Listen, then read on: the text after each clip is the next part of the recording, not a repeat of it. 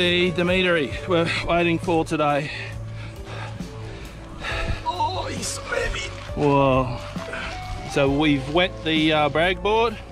Uh, just bring him over this way so he can- Yep, yep. That's it. Whoa, yes.